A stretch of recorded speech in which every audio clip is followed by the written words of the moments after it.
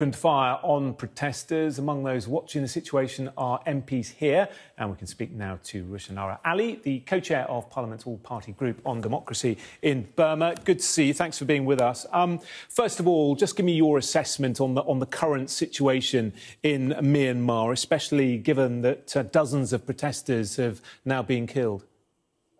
Well, the situation has gone from bad to worse. Uh, over the previous period, uh, previous years, we saw the Myanmar military presiding over and carrying out acts of genocide.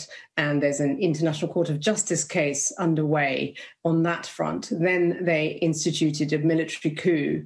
And because they got away with genocide, they carried on and they are now punishing the entire population. And we've seen yesterday 38 people were murdered by the military, uh, peaceful protesters who are being uh, attacked by the military.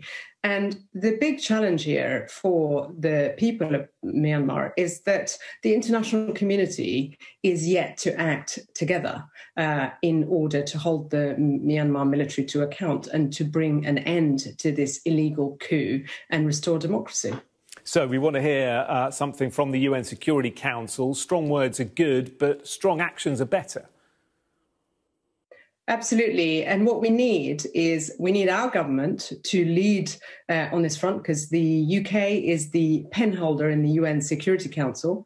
Uh, so I and, and many of my colleagues have been calling on our government to take action, uh, including targeted sanctions, lead, build a coalition uh, of countries towards um, uh, introducing targeted sanctions against the Myanmar military, uh, a global arms embargo, which is absolutely critical uh, because uh, the Myanmar military is uh, it's killing its own people.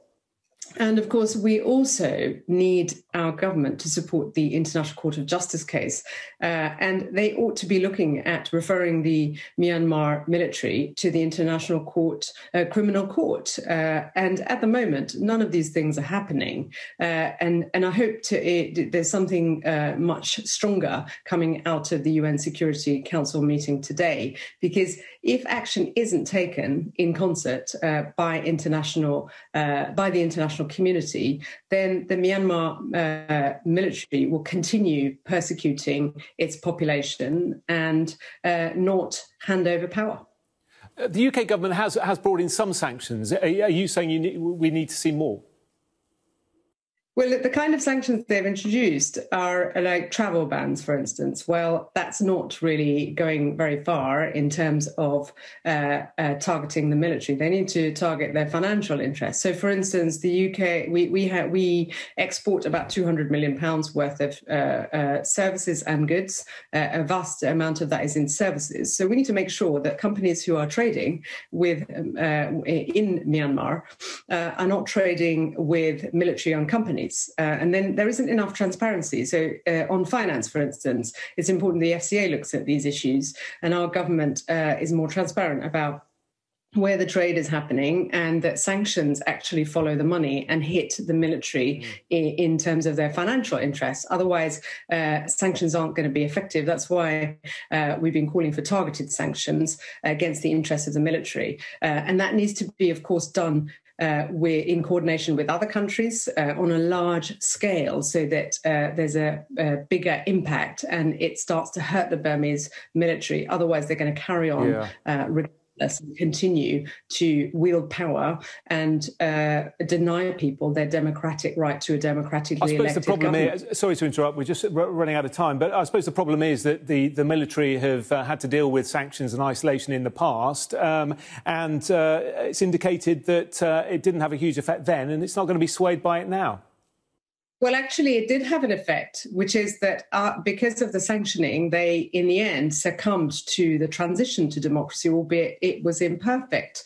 What's happening now is that the international community can't agree on what kind of sac- sanctions, uh, and the, the, the, the lack of action and that vacuum is leaving the military to continue to kill its people, to uh, attack peaceful demonstrators, deny the democratically elected government the right to run its country.